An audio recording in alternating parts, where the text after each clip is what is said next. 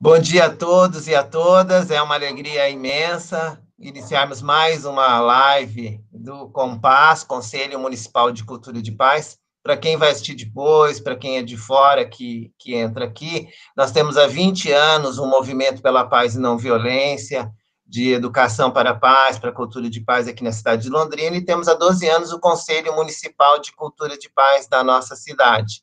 E nesse, neste ano, né, a gente estava comentando aqui antes de iniciarmos a live, inclusive, a gente tem conseguido trazer as pessoas de fora, os amigos, né, para poder participar aqui junto com a gente. Então, tudo sempre tem o seu, o seu lado bom também, né, do, do, dos acontecimentos. E isso é muito bom, a gente poder, eu poder rever a Vitória, né, que fomos tantas vezes em reuniões em Brasília, tratar aí do controle de armas e munições, que ela ainda vai falar, e eu estava colocando para ela, relembrando, né, eu saía aqui quatro horas da manhã, chegava cansado lá, meio com meio com sono da viagem, tudo, né, e falava assim, ai, meu Deus, aí eu olhava para Vitória, que vem de mais longe do Rio Grande do Sul, tinha mais horas de viagem, né, com toda a dificuldade, né, do translado dela, e ali firme, ativista, né, sempre ativista. Eu, eu quero apresentar ela é, certinho aqui, eu quero ler o currículo dela, negocinho deixar aqui, vai deixar. E aí, eu falo direitinho, ó. Então, vamos lá. Ela vai falar hoje deficiência, controle de armas e diálogos com direitos humanos. Vitória Bernardes é formada em psicologia pela PUC do Rio Grande do Sul, é, atuou na área de inclusão de pessoas com deficiência no mercado de trabalho e atualmente participa do controle social, onde está como conselheira nacional de saúde.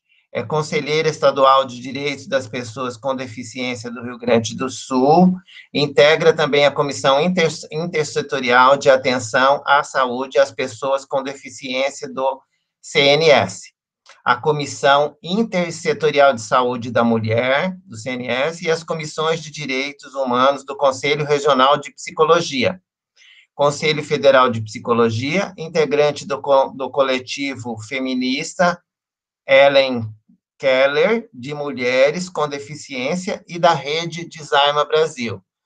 Então, é uma grande ativista, particularmente minha amiga, né, de muitos anos, que eu aprendi a admirar toda a garra dela e toda a atuação dela é, no nosso, na nossa atuação aí na, na questão do controle de armas e munição. Então, Vitória, seja bem-vinda, né? É uma alegria muito grande, mesmo, de ter você aqui conversando com todos nós, tá bom? Fique à vontade aí para falar. Bom dia, bom dia a todos.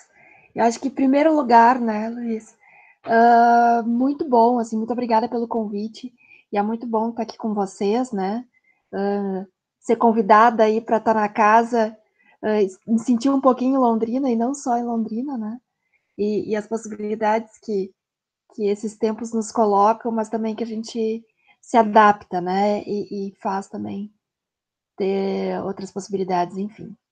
Então, uh, para falar um pouquinho, né, sobre essa, essa relação entre deficiência, controle de armas, direitos humanos, eu vou iniciar contando um pouquinho uh, da minha história, né, e também uh, convidando vocês para me acompanharem nesse, nesse processo, porque acho que cada um aqui tem a sua história que trouxe para dentro do movimento, dentro da, da defesa da cultura de paz, né?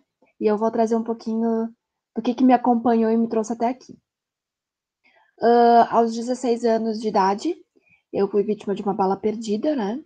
E como eu brinco, na verdade foi achada. Uh, e isso fez com que eu me tornasse uma pessoa tetraplégica, né? Com, com tetraplegia. E a partir disso, eu passei a vivenciar a deficiência, né? Uh, e por que que eu separo a questão de ter tetra, tetraplegia e ter deficiência? Quando a gente pensa em deficiência, o que, o que que surge? Né? Muitas vezes é comum chegarem para mim pessoas desconhecidas e perguntarem assim, qual o teu problema? Eu juro para vocês aqui que a gente nessa conversa íntima, que a vontade de dizer é falta de dinheiro. Mas eu sei que não é essa a resposta que estão esperando, né? E, e sim dessa construção de que deficiência é um problema, de que deficiência é uma questão individual, que deficiência é um número de CID, né? Aquele Código Internacional de Doenças, né?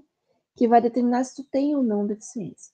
E por isso que eu estou trazendo esse tema, e, e, e, né? Porque imagino que talvez muitos aqui não não, não participem, também não atuem diretamente com a temática da deficiência, e por isso é importante a gente trazer. Que assim como gênero, né, e raça são construções sociais, deficiência também é, né?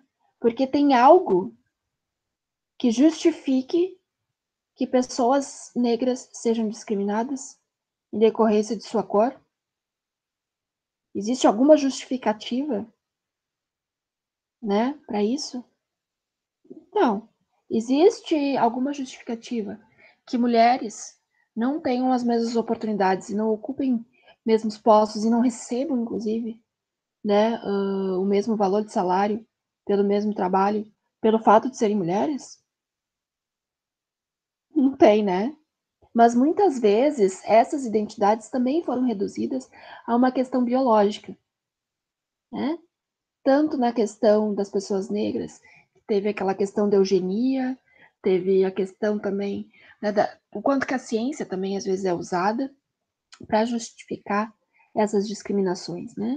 Então é porque as pessoas brancas têm o cérebro, não sei o quê, e que depois a gente percebe que né, que, que nome usar.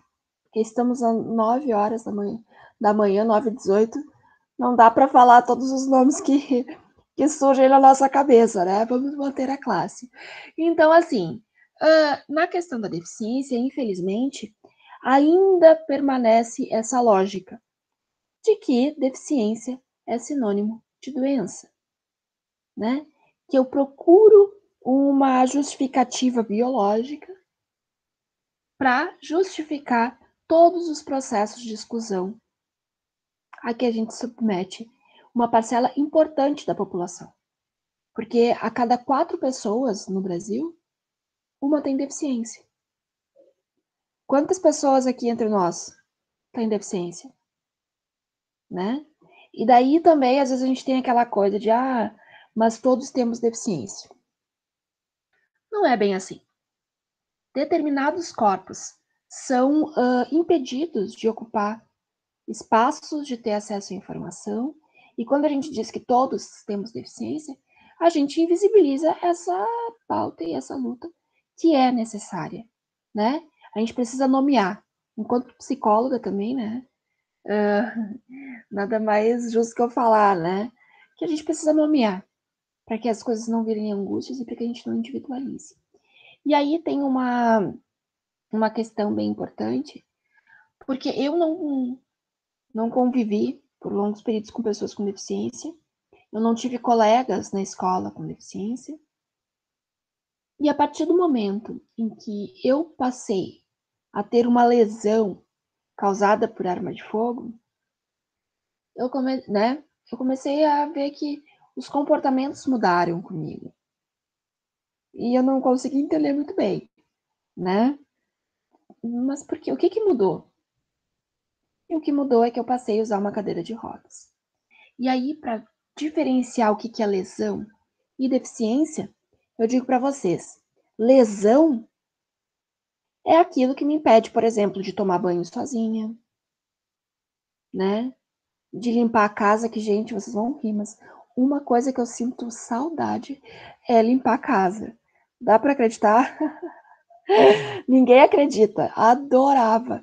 Que é uma coisa para organizar. É, ó. E hoje eu fico, a minha filha que brinca comigo, né? Ai, mãe. Meu Deus, mas para de querer que eu fique organizando o meu quarto. Eu adoro. Mas ela também tá gostando, viu? Mas, uh, pequeno parênteses feito, né? Mas, enfim, então, a lesão é isso que me impede de fazer essas essas coisas de ter autonomia, né?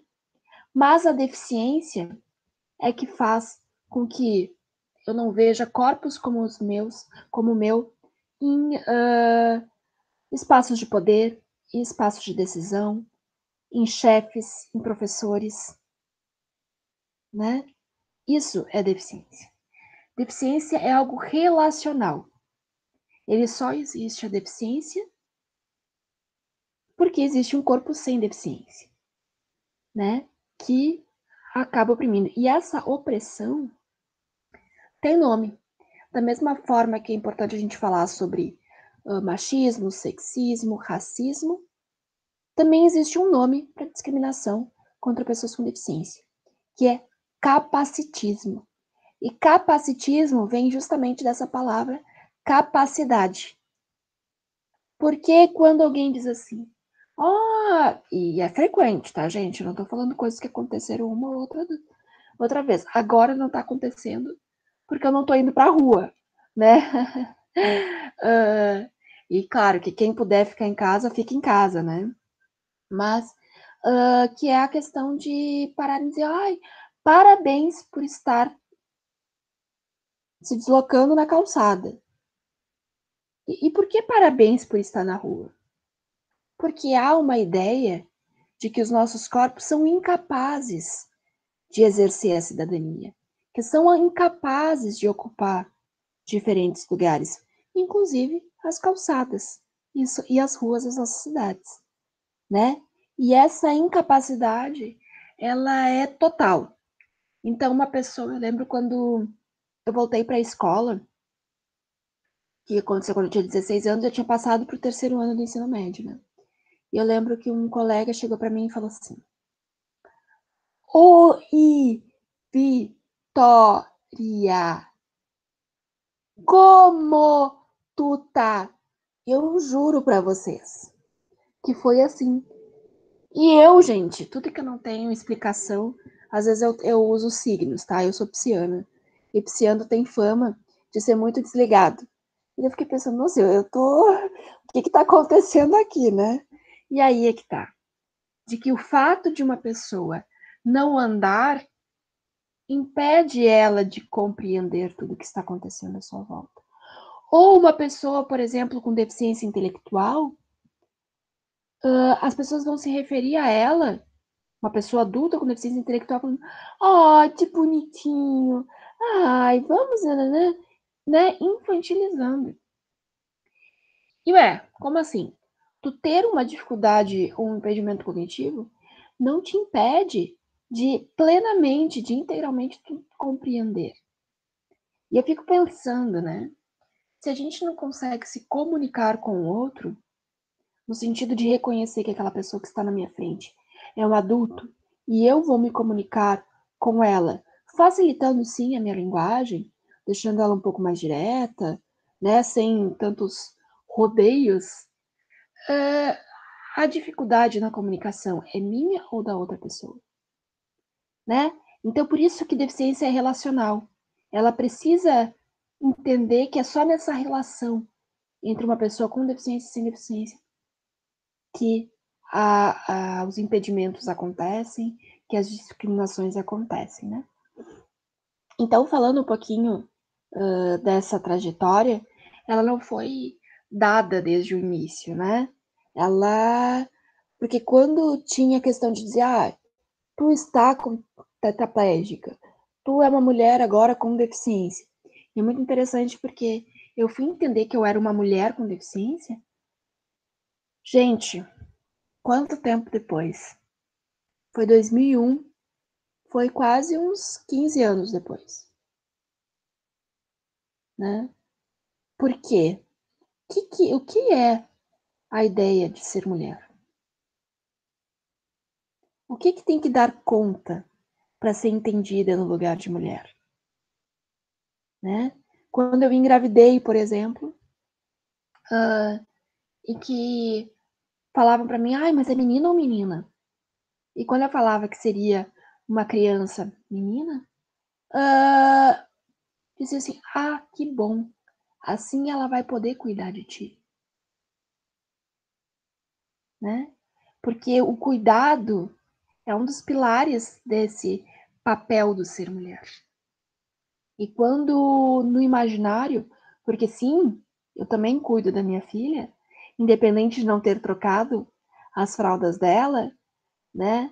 Uh, mas a ideia, de novo, do capacitismo é que o meu corpo era incapaz, o meu corpo é incapaz de cuidar, é incapaz de poder se relacionar com o outro também, né? Então esses processos eles uh, atrapalham muito na nossa compreensão.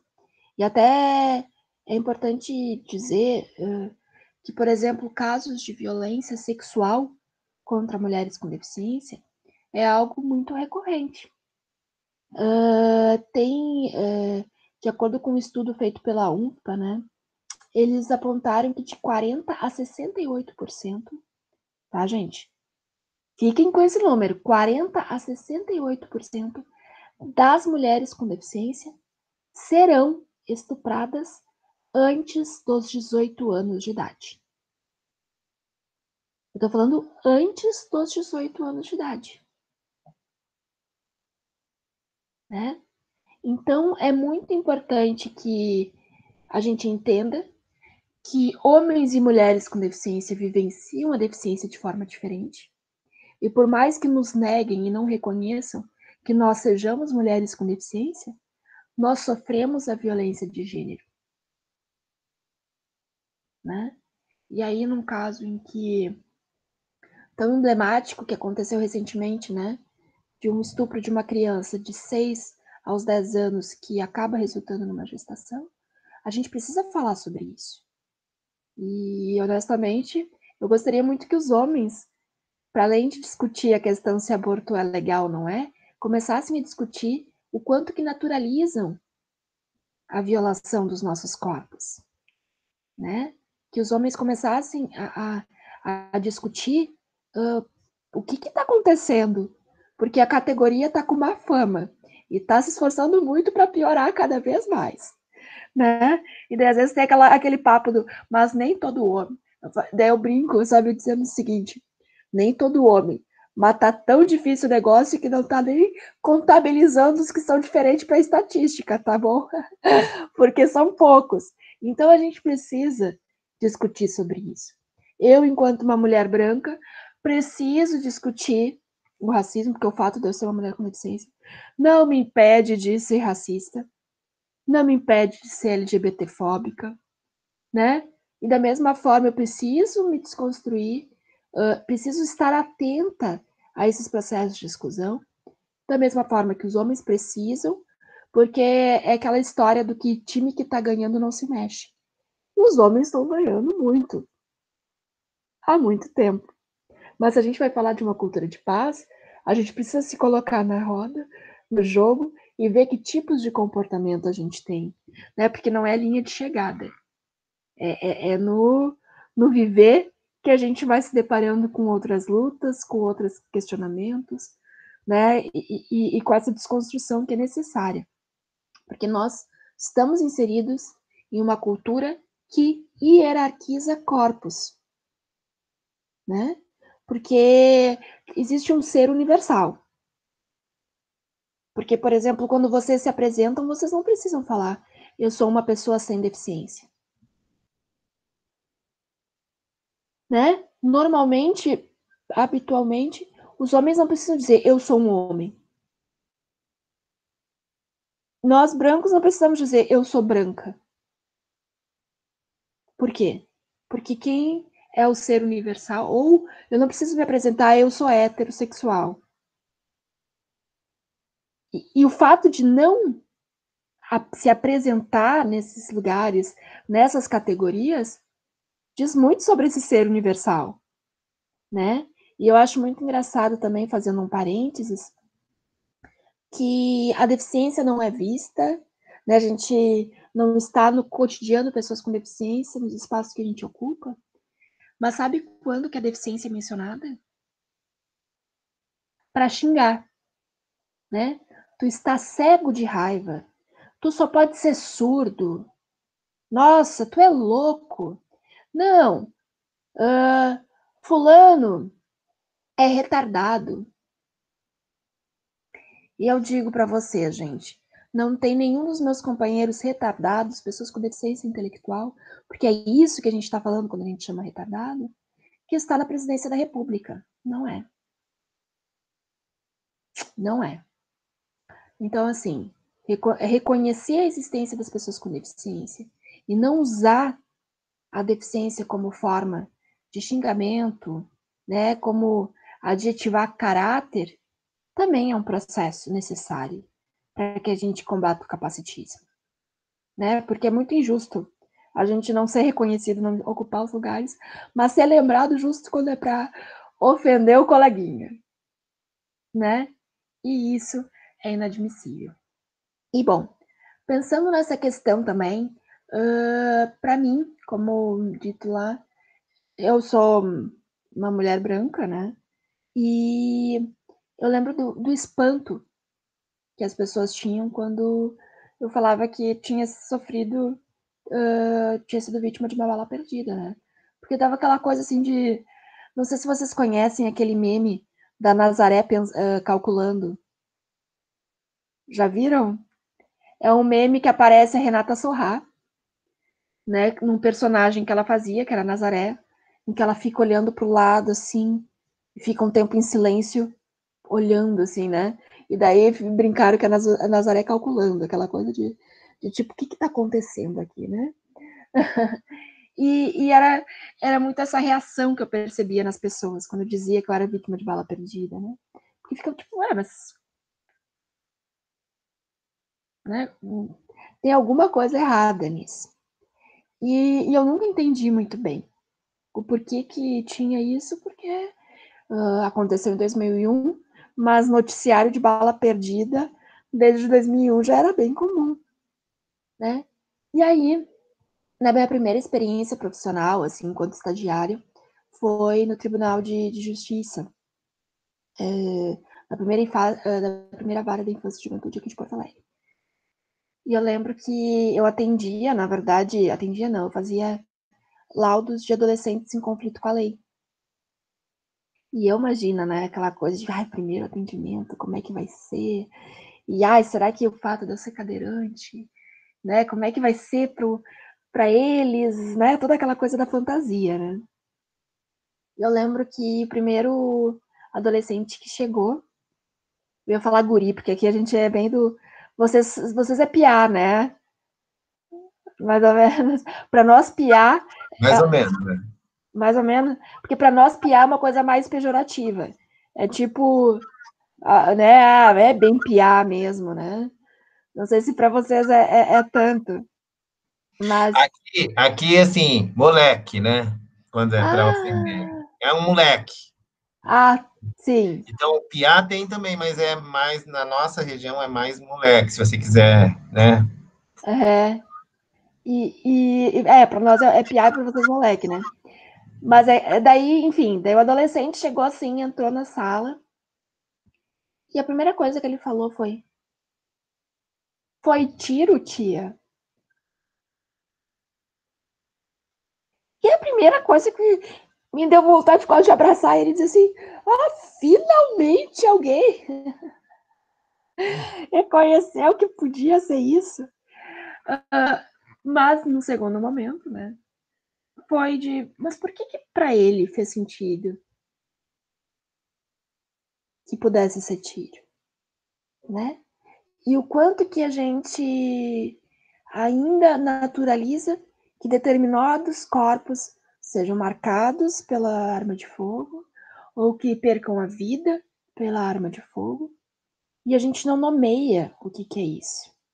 Porque por mais que as armas de fogo, sim, seja um risco para todas e todos, ele é um risco maior, principalmente para todas, porque violência doméstica, uh, feminicídio, tentativas de feminicídio, sim, é, é uma questão real e, sobretudo, também é uma questão racial.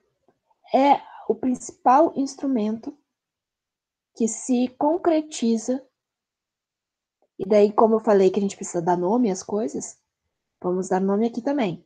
O genocídio da população negra do nosso país, né?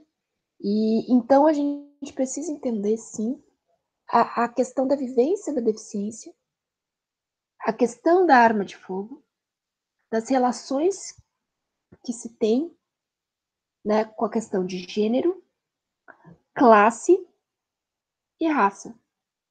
Porque onde normalmente, habitualmente e corriqueiramente acontecem as lesões e os assassinatos por arma de fogo, né?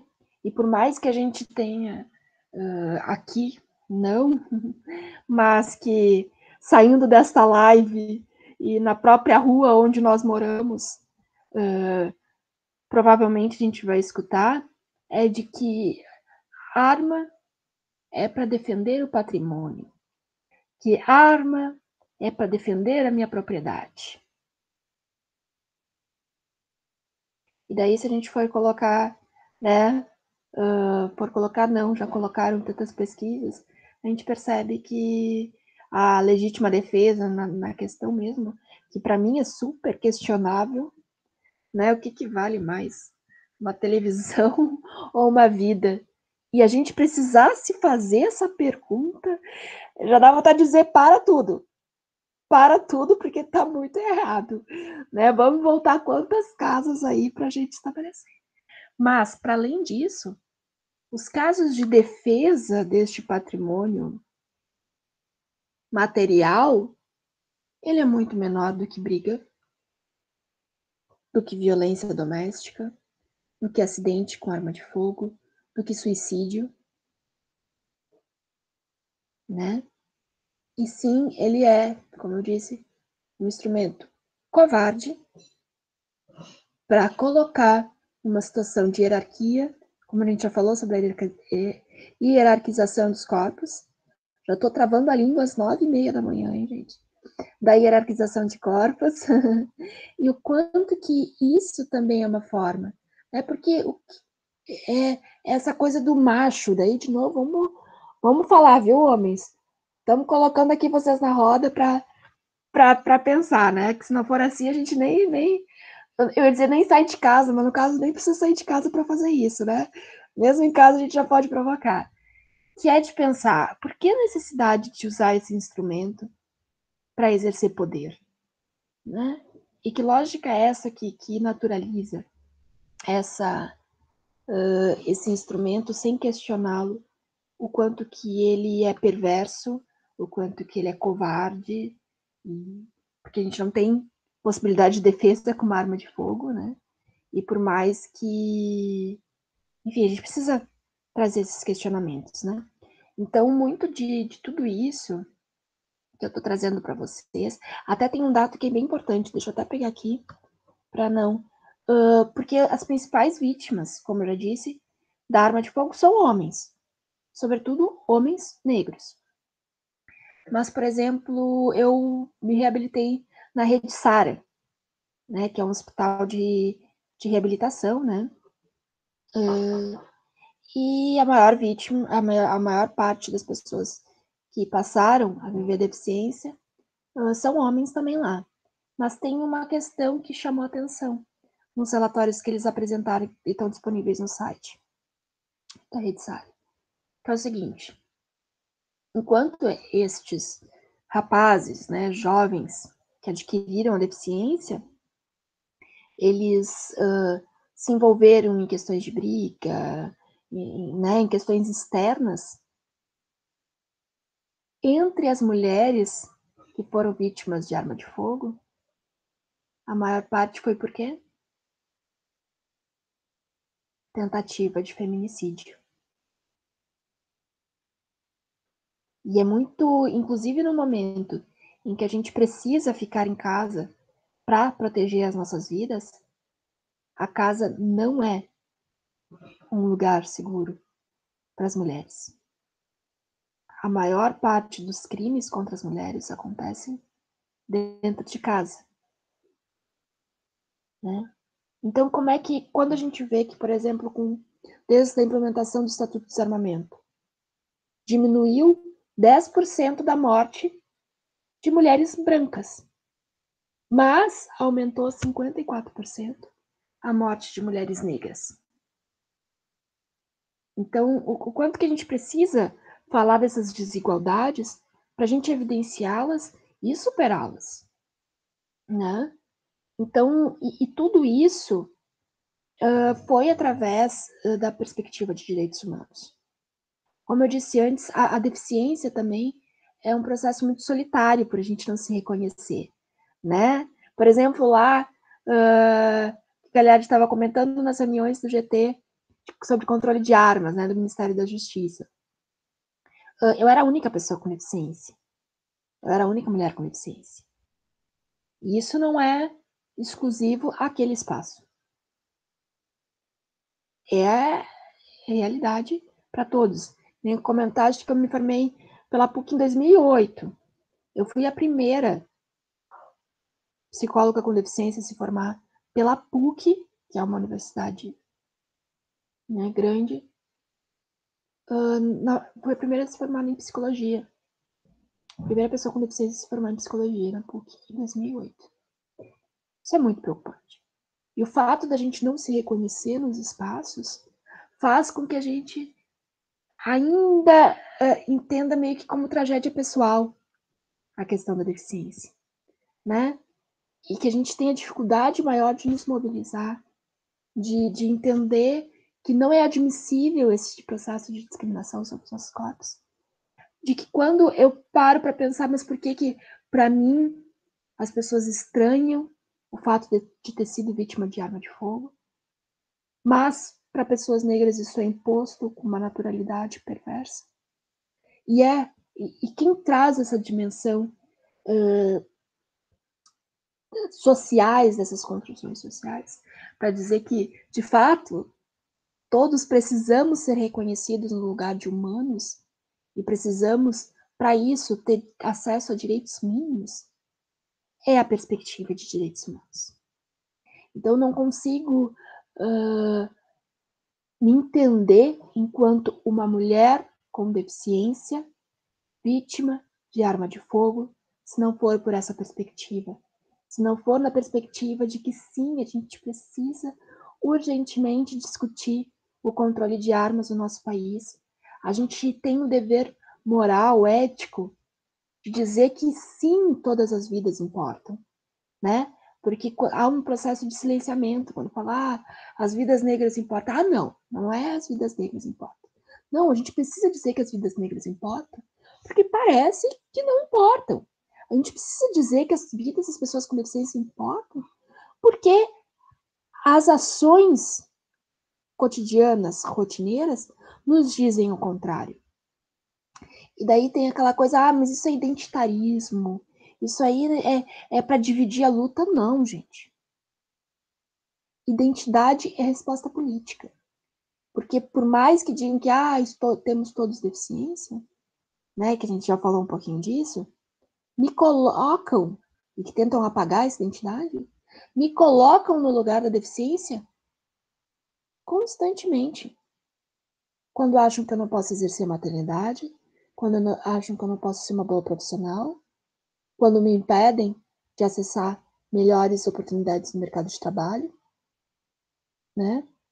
Então, a perspectiva de direitos humanos, ela é essencial e ela é um ângulo de análise necessário para quem se coloca, né, neste lugar de, de construir a paz, né? E, e, e, porque uma paz, como é que é? Paz sem voz não é paz, é medo, como diria o Rapa, né? Então a gente precisa dar nome para isso e eu não consigo uh, pensar nisso sem articulação com outros marcadores sociais, sem me colocar no jogo para perceber em que momentos eu tô também reproduzindo essas discriminações né? Então, é isso. E, e, acho que para encerrar essa primeira parte, né, eu vou usar aquela que eu sempre uso, porque aquele samba enredo da Mangueira é algo histórico e, e, e lindo, e, e, a arte nos traz isso, né? mas que tem aquela frase que é na luta que a gente se encontra.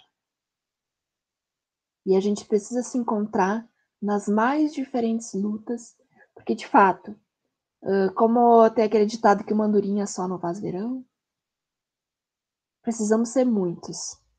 E mesmo que o meu corpo uh, seja diferente e tenha marcas diferentes do de vocês, nós temos muitas outras lutas que a gente se encontra, né?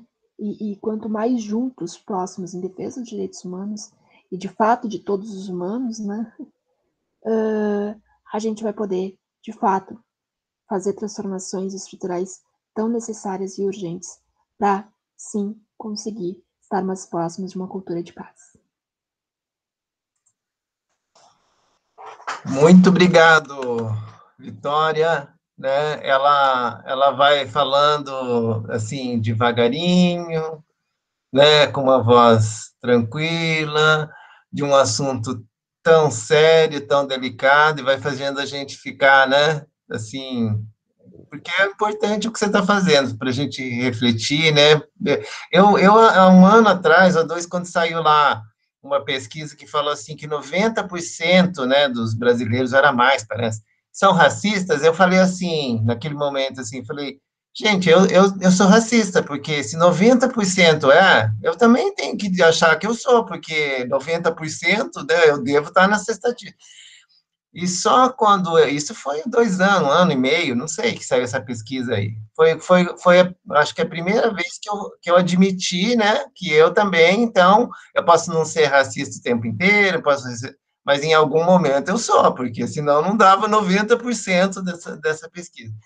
E assim é com a questão de gênero, são, enfim, todas as questões do, dos deficientes, né, que você está trazendo. E, e, eu vejo assim também na questão dos deficientes, já participei de, de roda, de, de conversa, tal, vejo assim, tem muitos dos deficientes, né, de vários tipos, que são muito é, tristes e revoltados, né, e agressivos e tal, até por conta de toda essa dificuldade que eles vivem, dá para dá entender isso, né, e, e nós estamos num momento de que a gente precisa conversar isso, né, dessa maneira que você colocou, né? Não, não é só acusar, acusar as pessoas, mas é fazer as pessoas refletirem para que elas, refletindo, consigam é, mudar em, em, si, né? Pelo menos eu, eu sinto assim. E, e são assuntos muito difíceis para todos nós, que você colocou. Nós sabemos que é isso mesmo, mas são difíceis, né? O lugar mais perigoso em casa é uma coisa inacreditável, né, a gente achar.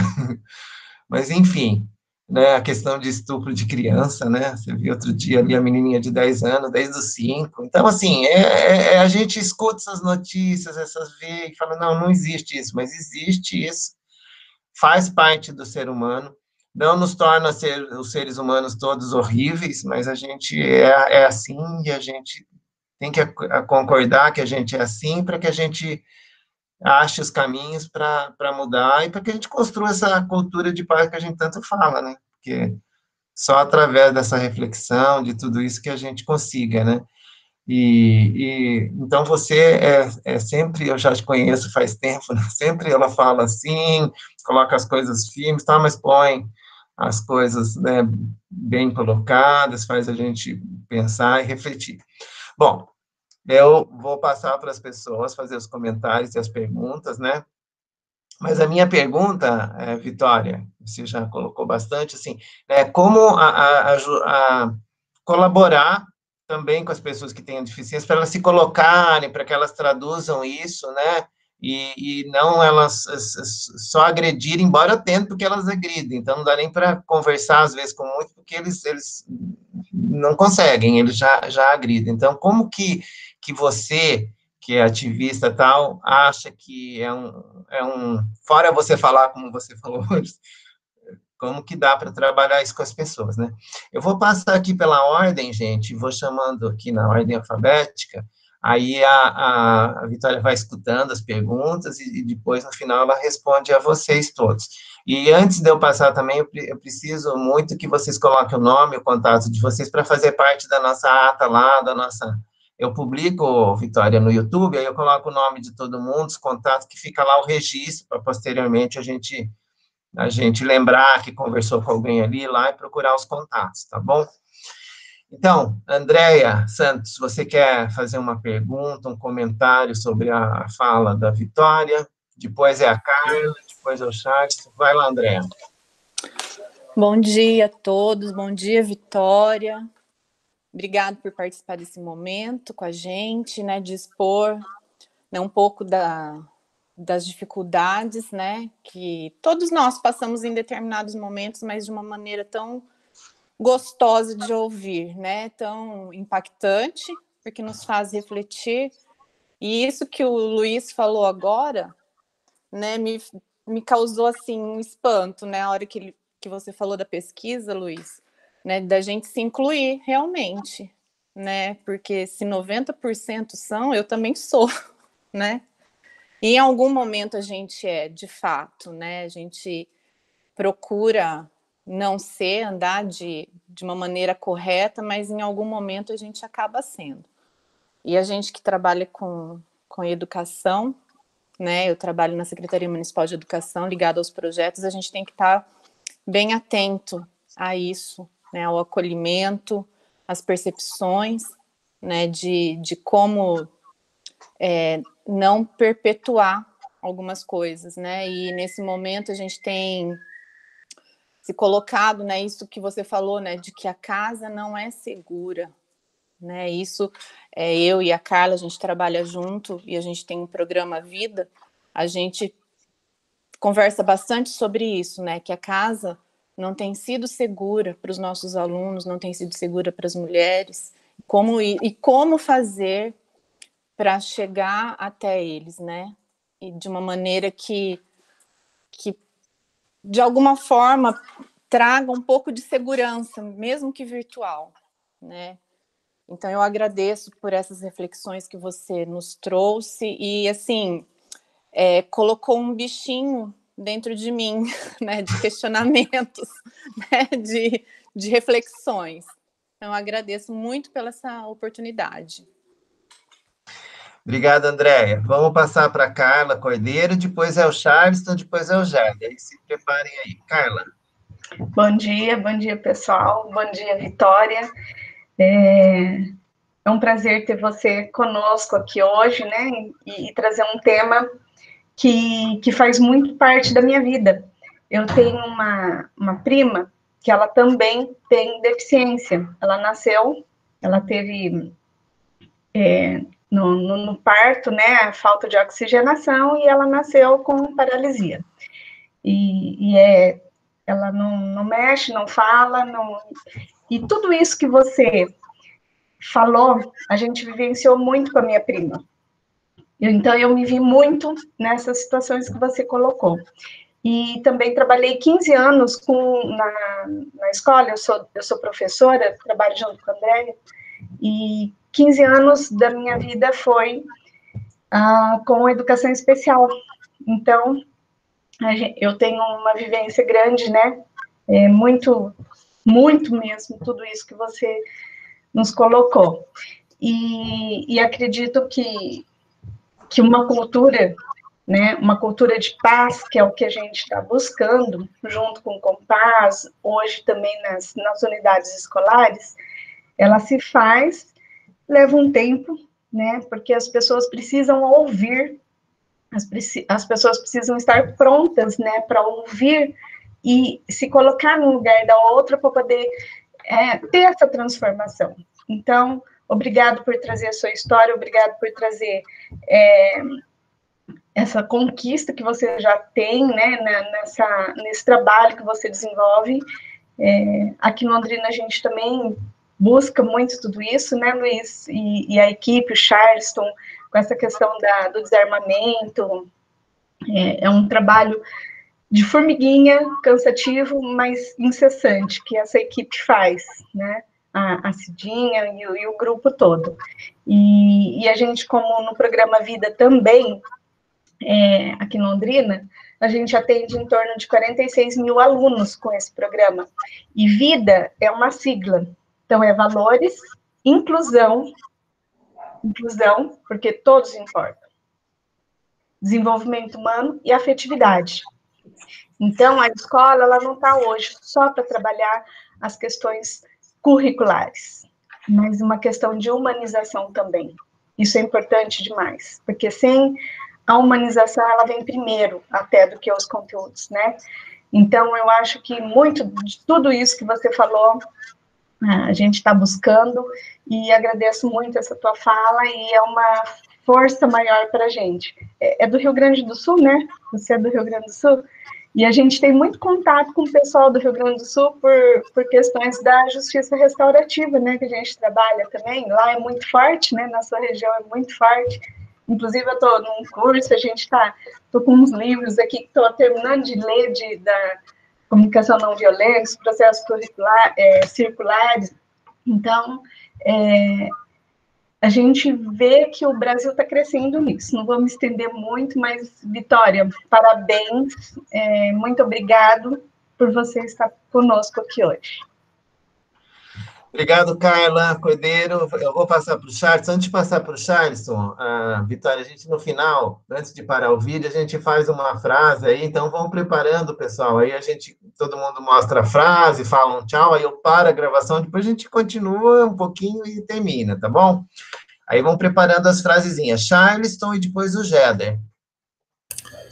É, acho que, a priori, agradecer a Vitória a gente desenvolve, eu trabalho com, para a Vitória aqui que não conhece, eu, eu trabalho com um grupo de crianças chamado Clube Aventureiros do Amanhecer, e a gente de, é, desenvolve alguns jogos é, nessa ideia de, de, de, sensibilização, né, com, com, com, com relação ao tema, mas assim a gente vê que ouvindo a sua fala assim é muito pouco o que a gente faz. Acho que a gente precisa é, in, in, investir mais tempo nessa que, que, que questão de, desse tema. Vamos estar então assim, eu fiquei com essa coisa na, na cabeça. Vamos ver assim que voltar a, a passar esse momento de pandemia sentar com com, é, com, é, com o grupo e tal, tal, tal, talvez é, e ampliar, né, a, buscar mais atividades lúdicas para trabalhar com, com as crianças. A gente já tem algumas, mas é, assim, é muito pouco ainda o que, que a gente faz. Muito obrigado. Obrigado, Charleston. Vamos passar para o Jeder, depois é a Leozita e depois é a Lília, nessa ordem. Jeder. É, só para constar, vou poder ir lá. Pode passar aqui. Obrigado. Ok. Não, eu agradeço, mas eu não tenho nenhuma pergunta no momento. Obrigado. Ok. Leozita. E depois a Lília. Muito bom ouvir essa moça. Fantástico.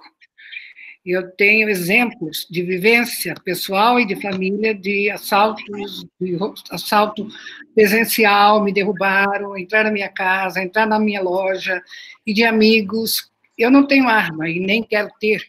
E de amigos que têm armas e que foram assaltados, inclusive diziam que acharam a arma e diziam que você guarda a arma para se, se, proteger de nós, você vai morrer com ela.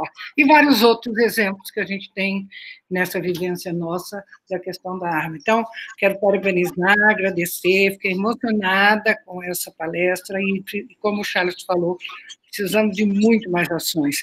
Inclusive na questão do racismo, a gente acha que não é, mas a gente tem atitudes que, que, que na prática que a gente é assim um pouco racista em relação principalmente à questão do negro e outras questões também. Então, parabenizo de novo e agradeço muito. Acho que a gente está aprendendo cada dia mais com essas nossas palestras e essa pessoa foi fantástica. Obrigado, Leozita. Vamos passar para a Lília Miranda, depois é a Cidinha. Lília? Está aberto. Bom dia, pessoal. muito obrigada. Foi muito legal a palestra dela. É, a gente vê a força dela, é, é para animar o povo aí, porque é, tem muita gente que por coisas pequenas fica já desanimado, né? E eu, o que eu queria colocar é que é um problema da, da, nossa formação aqui como brasileiro, que a gente é que nem eu coloquei, eu tinha escrito aí no, no chat, que a gente deixa passar muita coisa, que nem o nosso Congresso lá simplesmente não vota é, a lei das 10 é, coisas contra a corrupção, é, deixa uma, uma, deputada que nem aquela flor de lis lá, é, com foro privilegiado lá solta, e são coisas graves, assim como é, agressões, como a, a feminicídio, outros tipos de, de, de, de assassinatos, né? É, esse negócio de estupro de criança, da, das, das mulheres mesmo. Então, tudo isso aí, as penas são muito pequenas é, em relação à gravidade da, da, da, do ataque que essas pessoas sofrem. Entendeu? Então, e ainda muitos desses pessoas que são julgadas vão para a cadeia e ficam lá. Entendeu? Ainda recebe, alguns ainda recebem salário. Entendeu? Então, a pessoa que foi prejudicada fica lá sofrendo e o cara ainda recebe algum salário. É, é, é, esse país tem que mudar muita coisa. A começar para a pessoa pegar e começar a votar com consciência e não votar em pessoas que ficam fazendo esse tipo de coisa errada.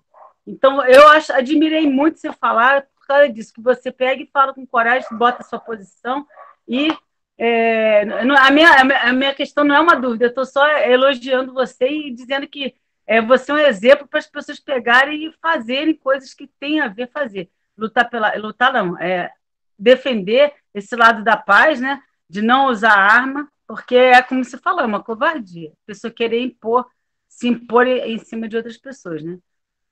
Então, é, parabéns e eu admirei muito, viu? Parabéns. Um bom dia para você e para todos nós aí. Obrigado, Lilian, Miranda. Vamos passar agora para a Cidinha a Prandini, que é a nossa presidente do Compaz, viu, Vitória? Cidinha.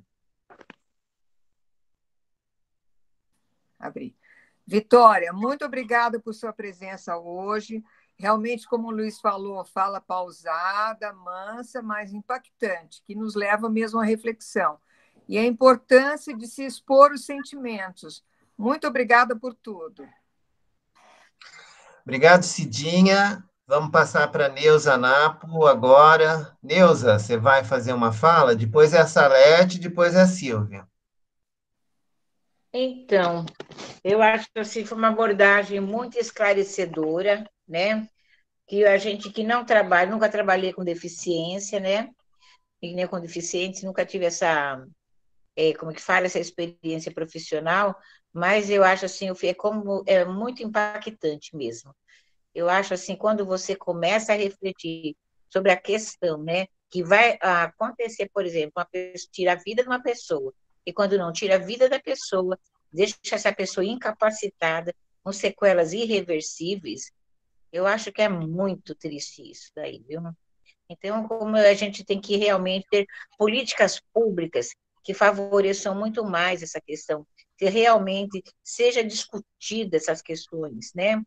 É, essas abordagens, por exemplo, são deixadas de lado, penas mínimas, as pessoas é, acabam ficando assim, tudo natural, é uma aceitação da dor. Na hora é aquele mucuvu, aquele alvoroço. Depois fica aquelas, cai no esquecimento e fica uma aceitação. E você está de parabéns, Vitória. Você faz uma abordagem assim, por exemplo, no meu caso, assim, mostrando o outro lado, a, o lado daquele que sofreu realmente é, essa situação. Porque quem vai dar o tiro, às vezes, fala assim, não fui legítima defesa, não me defendi, mas você mostra um outro lado da moeda. Muito obrigada, está de parabéns. Obrigado, Neuza. Eu vou passar para a Salete. Salete, se você também quiser aproveitar, depois vai ter mais tempo, né? Mas você já falar lá da, da, da, da URI, que ela vai vir falar para a gente no dia 2 de setembro, né? Que ela é da URI, falar um pouquinho do Desafio 10 e, e nossa, muita coisa, e ainda falar da, da vitória, mas, enfim, aproveitar esse, a sua fala. Depois acho que nós vamos ter mais tempo, que é 10 e 5 ainda, né? Mas vai lá, Salete. Tá, eu estou aqui agradecendo a Deus pela sua vida, Vitória. Você é um grande exemplo e não está lutando só contra a violência a qual você foi submetida. Você está eh, lutando contra todas as violências que a gente vê no nosso mundo. E então eu te agradeço muito e agradeço a Deus por você existir e estar tá tão corajosa nessas frentes. Eu queria perguntar duas coisas. Primeiro, quando, quando você levou esse tiro, sendo uma pessoa branca, como você fala, deve ter sido uma comoção muito grande. Eu não me lembro nos noticiários nacionais, mas seguramente que na sua região foi, é, foi muito noticiado, né? Eu queria saber se isso, ao menos, ajudou que na sua cidade fosse mais refreada essa questão da arma, se teve esse efeito positivo, pelo menos, né? E dizer da, da nossa grande tristeza na nossa luta na rede Desarma Brasil, hoje com o governante mor do país incentivando o avanço da venda de armas, do uso de armas. Isso para nós, particularmente, né, que somos militantes dessa rede, é de uma é de uma incompreensão para nós total, total.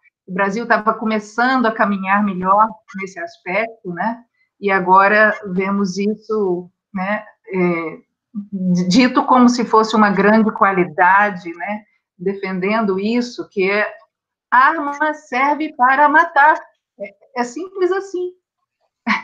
Então, por que incentivar a arma, né? Se não for na mão da polícia, que eventualmente tem que, que agir né, na, na defesa do, do, cidadão. Então, essa é uma coisa. Bom, é, o Luiz falou que eu vou falar sobre a URI na semana que vem. Sim, aí eu gostaria que todos estivessem para conhecer um pouco melhor. Mas é a URI, a Iniciativa das Religiões Unidas, é considerada uma das três maiores redes interreligiosas do mundo. E eu tenho a honra de estar desde o princípio desse movimento que começou no ano 2000. É, e dentre, os, dentre as ações que a gente apoia, recentemente, há três meses, nós estamos apoiando uma ação é, de combate à fome, inicialmente era é, dirigida a isso, né, que é o desafio 10 por 10, eu convido vocês a entrarem no site www.desafio10vezes10.com.br e lá tem uma campanha de doação que se converte em, em cestas, tickets de alimentação que vão parar nas, nas periferias do, do Brasil. É, mas tem um desdobramento dessa ação e a gente está pensando e nos reunimos, um grupo se reúne todos os dias às 8 horas da manhã, estamos tendo várias aulas de vários temas para a gente tentar ver como que a gente pode minimizar essa onda que, que estamos enfrentando e que vai piorar muitíssimo nos próximos anos, né, em razão da, da economia estar ter sido prejudicada pelo, pelo vírus e tudo, né, mais prejudicada ainda. Então, a gente está pensando em formas de como é, combater isso que a gente vai sofrer agora, está sofrendo e vai sofrer mais ainda. Mas é isso. Obrigada, obrigada, Vitória. Obrigado, Salete. É, vamos passar para a Silvia, e também parece que entrou agora a Sueli, né? Depois, se a Sueli também quiser falar. Silvia. Oi, que bom é, te ouvir, Vitória. Realmente é, foi, foi muito positivo, foi muito bom ouvir. Eu uh, devo te dizer, o meu avô, há 50 anos atrás, já falava que não existe bala perdida, só existe bala achada, porque alguém acha essa bala. Né? Então, era uma coisa já na família, né? que bala perdida não existe. Infelizmente, acontece ainda, acontece muito, muito mais do que deveria. Né? Não, não, não deveria acontecer nada, nenhuma bala ser achada. Assim, né? A gente já não quer saber nem de bala disparada, quanto mais achada depois, né? Enfim, mas é, é, eu só queria contar isso, que o vovô sabe o vovô, né? Os avós sabem as coisas mesmo. E devo dizer, pedir a você, inclusive, que os bons exemplos, que as boas notícias, que as coisas é, é que sejam positivas, se você puder, especialmente, nos chamar atenção, indicar onde procurar, porque, por iniciativa desse nosso amigo, você conhece o batalhador que você tem aí na sua frente na tela, foi criado o site Mídia de Paz Paraná. E eu estou procurando colaborar com ele. Então, é muito simples, www.mediadepasparaná.org.br e a gente tenta colocar as boas notícias, não só do Paraná, claro, evidente, é do mundo todo, as boas coisas, os bons exemplos, né? porque o mundo, felizmente, também tem muita coisa boa, na verdade, tem muito mais coisa boa do que coisa ruim, é que a gente não quer que aconteça nada de ruim, é claro, né? É evidente que não. Então, é, é, são coisas que inspiram. Existem alguns outros sites por aí, né, com as boas notícias, mas nós temos também esse, a partir do Londrina Paseando, né, que deu frutos, né, de Compass, deu a, o, o, site, dá o um abraço, o site tem 12 anos, mas é complicado, você sabe, nosso amigo também não pode tocar tudo sozinho, ele tenta, viu, ele tenta, a gente fica correndo atrás dele, porque ele está sempre disparado. Quer dizer, antes da nossa live, ele já deu duas, duas, duas três, três ideias ótimas. Então, é fogo. Mas é isso, Vitória. Eu imagino que você seja assim também. Pelo, pela sua fala mansinha, essa história, esse povo da fala mansinha, não é fácil, não. A Cidinha brinca comigo, eu sei lá, e pronto, pronto, que aí eu, eu já sou outro tipo de, de pessoa.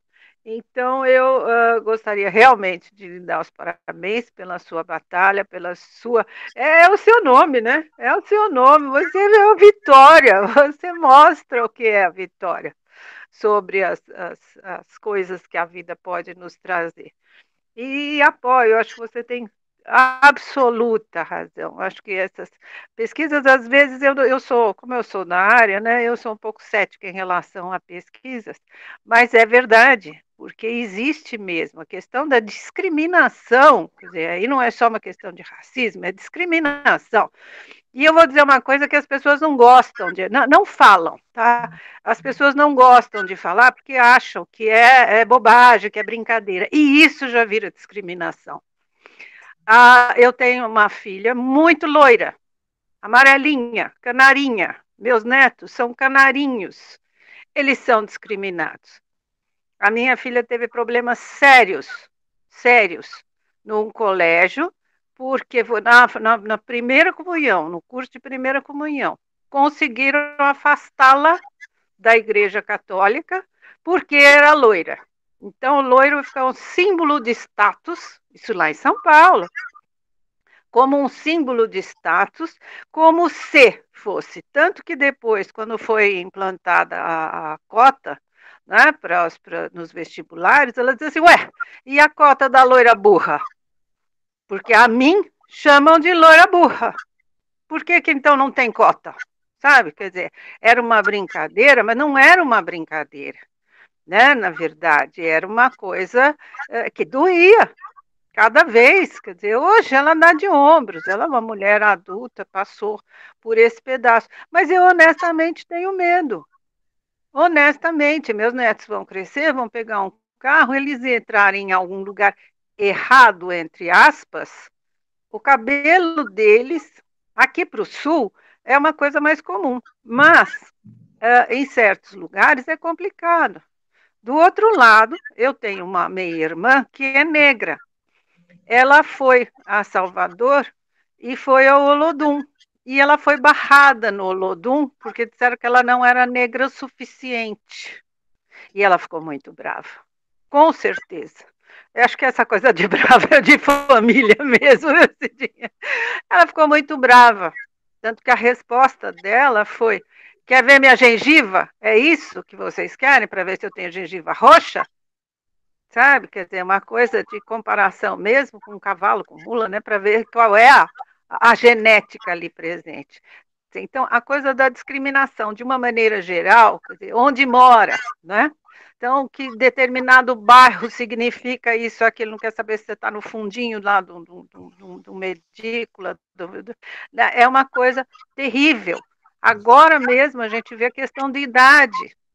Né? Quer dizer, então, de repente, faz a, a barreira dos 60 anos, quer dizer, até 59 anos e 364 dias, você é apto e capaz. No dia seguinte, você não é mais. Quer dizer, sabe, é, é, aos entendimentos, eu não tenho solução para nada, mas eu acho que quando a gente olha como você faz, quer dizer, quando a gente olha para o problema, a gente começa a ver soluções. Então é isso. Parabéns, Vitória. Muito, muito grata pela sua fala, pela sua presença. E pedinchona, né? Sabe como é que é? A gente vai pedindo. Vamos pôr para rodar os bons exemplos, sabe? Os lugares que dão acessibilidade, coisas mais é, é, produtivas, coisas que realmente inspirem e que às vezes as pessoas olham e falam: Nossa, eu posso fazer isso também, tá bom? Muito, muito, muito grata. Um beijo enorme para você. Obrigado, Silvia Liberatori. A Sueli de Fátima quer fazer uma pergunta ou uma fala? Eu só quero agradecer, Luiz. É, eu assisti desde o início da palestra, precisei sair um pouquinho, agora pouco, mas eu só quero agradecer. Eu acho que a gente aprende muito com essas lives, com essa palestra que, que vocês estão oferecendo. Eu mesmo posso dizer que hoje eu aprendi muito através da fala da Vitória. Então, Deus abençoe a todos e conte comigo no que for preciso, tá bom? Obrigada. Ok, Sueli, obrigado você por participar aí com a gente sempre. Então, Vitória, agora voltamos para você, né? Ó, 10 e 18, aí você tem lá mais até as 10 e meia, 10 e 35 é no máximo, tá bom? Vamos, vamos indo. Pode falar, Vitória. Maravilha. Estava aqui encontrando o microfone, né? Agora é o nosso, é o nosso novo habitual, né? Ah, travou! Não, deixa eu colocar no tirar do mudo. uh, então, eu fui uh, escutando vocês e fui fazendo anotações porque para não deixar passar, né? Uh, sabe, tá para começar, eu lembrei de um, de um caso que aconteceu uh, na, aqui no aeroporto de Porto Alegre, em que queriam que eu levantasse da cadeira, né? Lembrando que eu tenho tetraplegia, enfim, porque eles queriam examinar a, a, a almofada para ver se tinha alguma faca, alguma coisa, né? E, e, enfim, e era um procedimento que nunca tinham feito antes. E daí fiquei assim, mas o que que tá acontecendo, né? Espera só um pouquinho que eu vou faltar bateria, tá? Vou pedir aqui para colocar.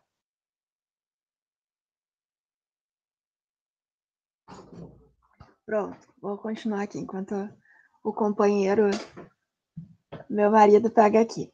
Uh, bom, e, e daí eu lembro que, ué, mas por quê? O que, que é isso, né?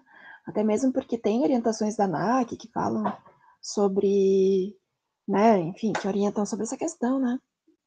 E daí, conversa vai, conversa vem, me falaram que isso era necessário porque teve uma pessoa que brincou que podia estar com uma arma, tá? E que daí, por causa disso, todas as outras pessoas com deficiência teriam que passar pelo mesmo procedimento. E onde eu quero contar com essa com esse caos, né? Onde eu quero chegar? É porque a gente tem uma é muito comum quando a gente hierarquiza, de novo, viu, trava-língua, hierarquiza corpos de aqueles que a gente entende como diferentes do nosso, a gente universaliza. Então, são as pessoas com deficiência, são as mulheres, são as, são as pessoas negras, né?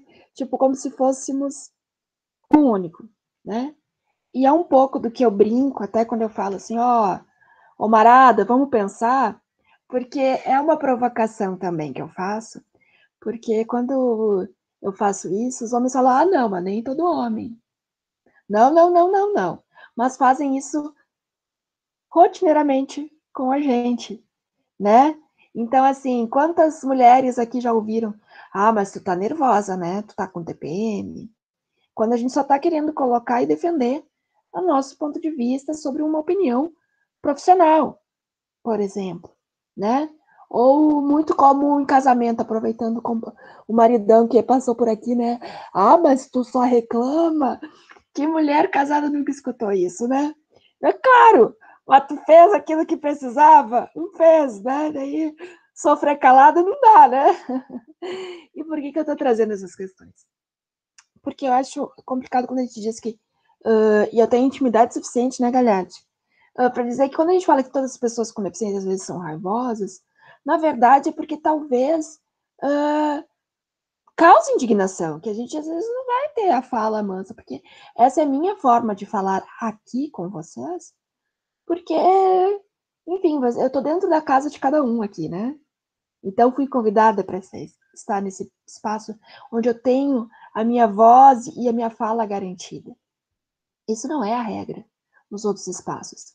E às vezes a revolta, tipo, pi, pi, pi, eu existo, para tudo, né? É uma, é uma reação dizer que e, e a gente faz isso da forma que dá, né?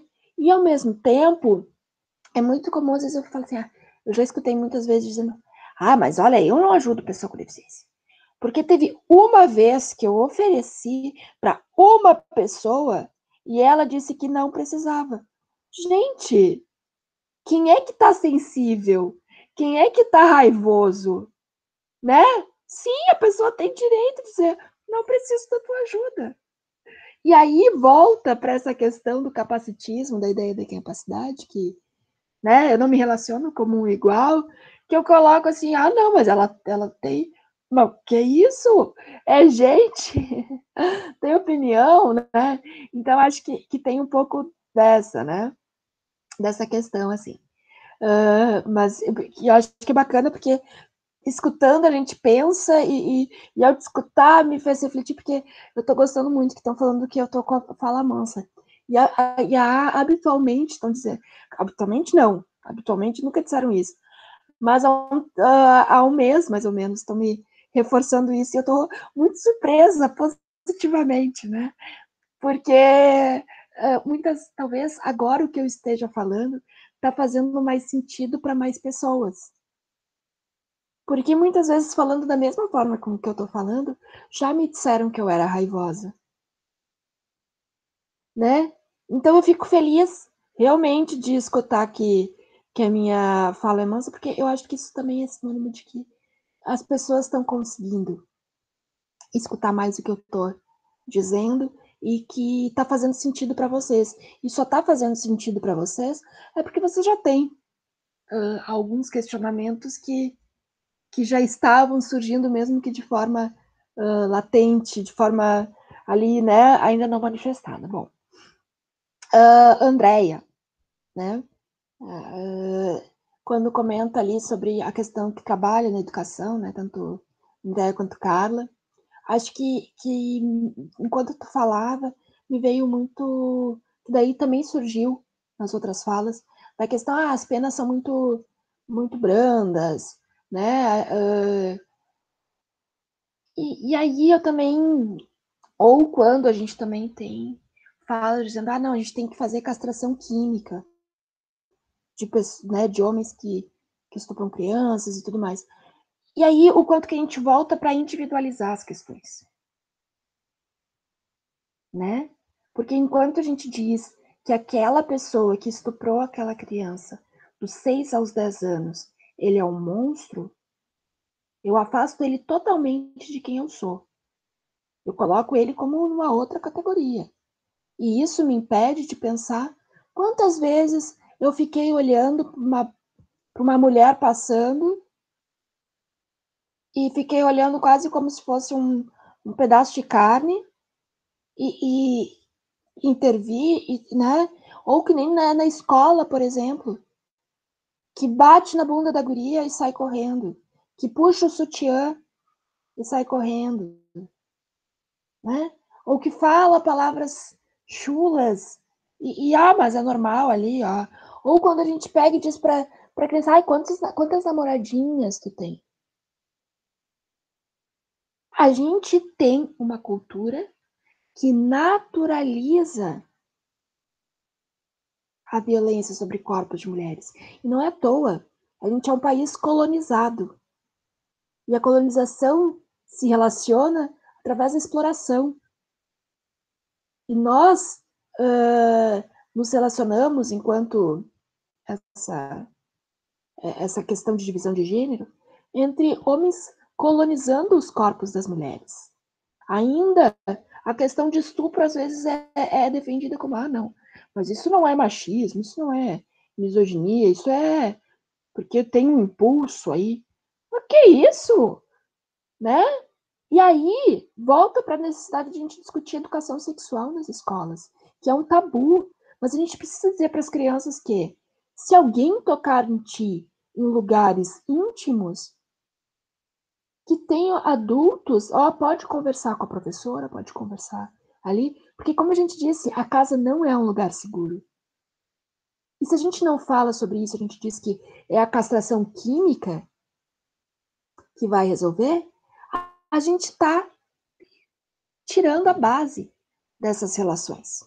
E a gente precisa falar sobre isso. Né? A gente precisa falar sobre, sobre essas questões. E me vem muito essa fala quando a Andréia traz, né? Da necessidade da educação como algo revolucionário, no sentido também de, de, de a gente ser uh, de entender sobre, os nossos, sobre o nosso corpo, de entender os limites, de enfim, né? E ó, tô vendo que eu tô na André e já é o 1028. Bom, a Carla traz a questão da, da paralisia da prima, e isso é uma coisa interessante também, né? Porque a paralisia cerebral, ela é, é muitas vezes recorrente, acontece em decorrência de violência obstétrica. Tem uma relação, por exemplo, de número de cesáreas né, com a questão da paralisia cerebral. Quantas mulheres sofrem violência doméstica, uh, violência obstétrica e a gente não fala sobre isso, né? Da mulher escolher a via de parto, da mulher entender sobre o seu corpo. Então, isso também me veio quando tu falou. Por isso que a gente não a gente não está falando de um tema separados. Todos os temas se relacionam, né? Então me vem isso. Uh, a questão da educação especial, né? Como é importante que a gente fale de educação inclusiva, que não é possível a gente continuar defendendo escolas especiais, né? Eu entendo que educação especial é, perpassa pela educação inclusiva, mas uh, porque não a gente precisa que crianças com deficiência e sem deficiência tenham a oportunidade de conhecer, de conviver juntas e de aprender juntos, de entender as potencialidades e limitações de cada um, né? Porque as pessoas, crianças com deficiência também têm potencial, a gente precisa uh, reconhecer isso, né? Então, reconhecer as pessoas com deficiência como iguais, né? Uh, isso acho importante. O Charleston fala também sobre a questão de, de pensar, que vai ter que pensar mais, né? Sobre a questão da deficiência, e que ótimo isso, porque é tirar eh, né, da, da, dessa debaixo do tapete e falar sobre isso que a gente pode uh, aproximar a temática da deficiência. É dizer, opa, existe esse tema. Então, fico muito feliz quando tu comenta isso, Charleston. A, a né, que, que falou dos casos de violência, né, que conhece, que já passou também, e o quanto que tu, tu tem, né, na tua, de forma empírica aí, né, uh, que a arma não é defesa, ao contrário, pode ser um instrumento que vai te, né, te colocar isso aí, a arma não é brinquedo, a arma não é. Uh, não, não protege, né? Ao, ao, contrário, ela te coloca, inclusive, até num risco maior, né? A Lilian, uh, que, que traz algumas questões, né? Que a gente está deixando passar muitas coisas, né? E, então, quanto que é importante a nossa mobilização, né? E, e, e que seja por nós. E, e tem uma questão, Lilian, quando tu comenta sobre o salário de pessoas que estão presas, eu acho que também a gente tem que desmistificar um pouco isso. Porque, assim, se tu tem um vínculo empregatício, se tu tem uma garantia, né, como tu tinha um vínculo empregatício, a tua família vai receber um, um salário mínimo, inclusive, isso é uma política pública, né, porque isso vai garantir que essa família não fique mais desestruturada. Porque a gente precisa falar de políticas públicas que garantam o mínimo né? Então, assim, e eu aproveito isso para falar que o auxílio emergencial, por exemplo, não chegou para muitos. Então, assim, a gente precisa comer, a gente precisa debater as estruturas que nos colocam. E não é de dizer, ah, tem. É, até minha filha, eu fico muito orgulhosa, que ela tem sete anos, mas ela já fala para mim assim, mãe, ninguém é bom e ninguém é mal totalmente, né? E eu acho que isso é um dos maiores aprendizados que a gente tem. Né? E eu fico tão orgulhosa, tipo, ah, isso mesmo, filha, né? Uh, porque é isso. Uh, eu acho que a vida, ela nos leva a tantos caminhos, e se a gente for pensar que no Brasil uh, sempre vai ter uma seletividade penal, porque não dá para prender todo mundo que faz qualquer crime. Mas no Brasil, quem a gente escolhe encarcerar? Pessoas com questão de tráfico de drogas, e quando a gente fala de droga, tráfico de drogas, a gente não está falando de quem manda, a gente está falando de quem está na pontinha, né? Então, assim, uh, e a gente não fala, por exemplo, homicídio, feminicídio, estupro. Essa não é uma prioridade para aprender. Isso demonstra a forma com que a gente está se organizando, com que a gente organiza a nossa vida. Então, assim, a gente precisa falar isso, não vai dar tempo. Me chama outra vez que a gente pode falar mais sobre isso, que eu acho que é importante. Mas a gente também entender que são políticas, sim, que são necessárias. Né? A gente não pode desestruturar quem já está desestruturado. Né? E daí, casos de violência, essas pessoas também. Eu adoro uma música do Arnaldo Antunes que fala que, que Hitler também foi. Como é que é aquela que todo mundo foi criança? Né? Então, é isso, a gente precisa entender e todas as, as complexidades e não desumanizar essas pessoas também que estão encarceradas, né? E isso é diferente de, de não responsabilizá-las, mas, né? É importante também que a gente não não fala. Uh, a Cidinha, que eu já tô íntima, viu? Eu já vou chamar de Cidinha. Uh, que na tua fala, o que me veio assim que eu notei que foi o afeto afeta. Né? Que a gente possa ser afetado pelas relações, pela humanidade presente em cada um de nós, né? Uh, a Neuza, deixa eu ver ali, uh, que também é questão de políticas públicas, e a gente precisa da necessidade de compreender que o Estado precisa se intervir nessas políticas, porque a gente está numa estrutura desigual, e por isso a gente precisa uh, ter políticas que nos estruturem, né? E que também não façam que a gente cometa crimes para tentar garantir o básico, né? Uh, esses dias tinha um noticiário lá que falando, ah, a pessoa foi presa porque roubou um pedaço de carne. E a minha filha, grande Lara, olhou para mim assim, nossa, alguém precisou roubar comida. E essa pessoa foi presa. E na cabecinha dela não faz sentido. E na minha cabeça também não faz sentido que alguém passe fome. E essa é uma realidade que a gente não pode desconsiderar porque ela acontece, né? Salete, a Salete, quando fala também que é, luta contra todas as violências, né? Uh, que eu trago aqui, e de fato, porque uh, tem uma frase de uma feminista que fala que querer ser, querer ser livre é querer ver livre as outras. E eu acho que isso é necessário enquanto eu não estiver, uh, eu tiver os meus direitos garantidos, mas a minha companheira não tiver, e os meus companheiros não tiver, eu também não vou ser livre. E isso uh, precisa da nossa mobilização e a luta é nossa, né? Chamar na chincha. Silvia que traz a questão, ai, ai, ai, Luiz, vamos lá, tô terminando. A Silvia que traz a questão da balachada a 50, que fala da balachada, né, que o avô já dizia lá de 50 anos atrás. Eu espero que a gente não continue falando do absurdo que é falar sobre balas achadas daqui a 50 anos também, que a gente já tenha tido avanços civilizatórios, né, que, que reconheçam que isso não é. Eu entendo quando tu fala uh, da questão da tua filha, né, de ser loira e tal, mas eu acho que é importante a gente dizer que discriminação e preconceito são coisas diferentes também, né? Porque eu tenho um preconceito, uh, às vezes eu vou ter que ser sincera, às vezes eu tenho um pouco de preconceito e eu tenho que batalhar, trabalhar isso diariamente com quem votou no do Bolsonaro. Porque eu também preciso, porque é mais fácil desumanizá-los, né? E dizer, ah, porque ele defende algo que eu não defendo, tá? Uh, e eu fico pensando, tá, mas eu estou colocando com que as pessoas que votaram nele uh, impeçam de acessar seus direitos? Não, eu não estou fazendo isso, porque só está no campo do preconceito. Agora, há estruturas que discriminam. E eu falo isso, Silvia. Eu tenho Eu tô com o olho bem, eu com um óculos enorme, então não dá para ver meu olho. Mas meu olho ele é verde, olha só. Uh, e ele tem um, ele é um pouco colorido. Ele tem é, três cores diferentes, fora o, a pupila preta. Eu lembro que chamavam assim, ah, teu olho é de palhaço. E os meus primos tiravam sarro, tiravam sarro. E eu ficava muito mal com aquilo. Falava, meu olho é de palhaço, isso aqui. E trazia um certo sofrimento, trazia, porque era criança. Agora, se eu vou te dizer que esse olhinho verde, essa cor da minha pele, não me trouxe privilégios, eu estaria sendo muito uh, leviana, tá? Inclusive, eu me deixa muito triste falar isso, mas os médicos que me atenderam, eu sei que eles depositaram muito, inclusive contribuiu para minha sobrevivência, porque eles olhavam para mim e imaginavam que eu podia ser filha deles. Isso não acontece com pessoas negras.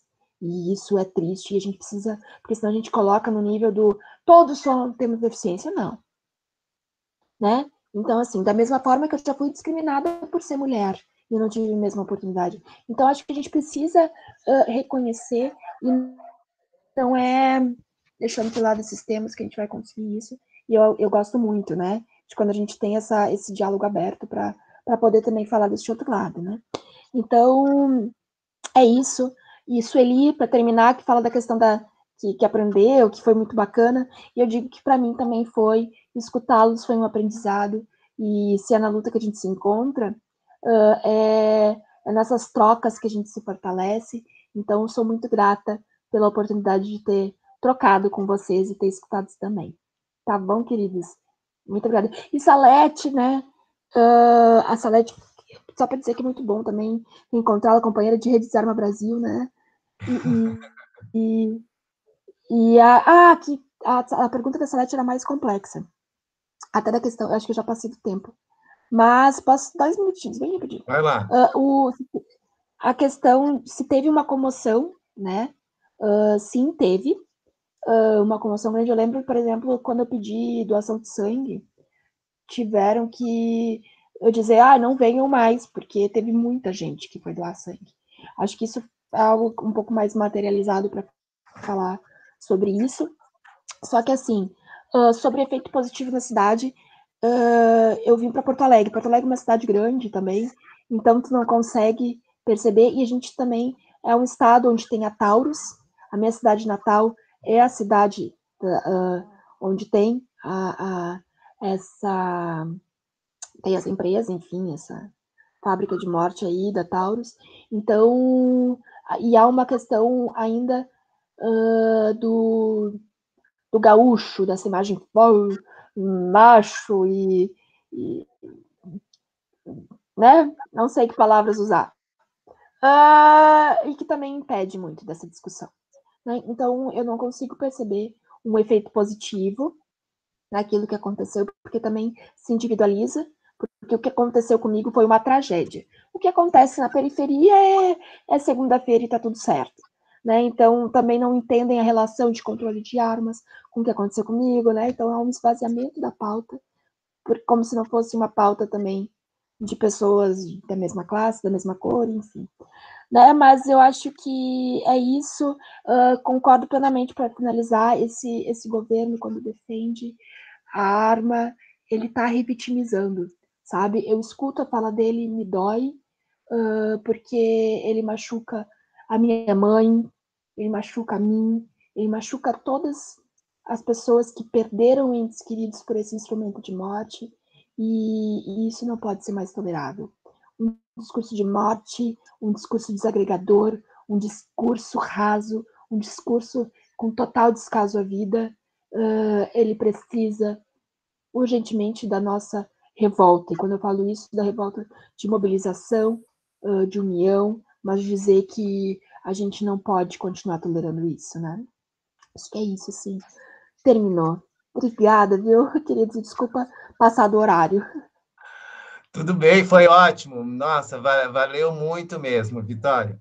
Olha, agora nós vamos fazer o fechamento do vídeo da gravação. Vocês não precisam sair, sair da live, mas a gente vai terminar. Então eu vou pedir para que todos abram a imagem e o microfone, porque o Facebook, o YouTube faz assim, quando a gente fala tchau, ele traz o nosso rosto. Quando o outro fala tchau, aí aparece o rostinho de todos vocês, tá bom? Então, abram aí os microfones, Neuza, Silvia, tá fechado, ó. Abre aí para vocês, então, colocarem ó, ali, ó, ó, ouvir para compreender, e podem começar a falar. Eu vou parar de gravar. Tchau. Tchau. Tchau. Tchau. Até mais. Muito obrigada. Tchau, obrigado. Vamos junto aí. Olha lá. Vamos mais juntas. Tchau, Abração. muito Tchau, tchau. obrigada. Que bom.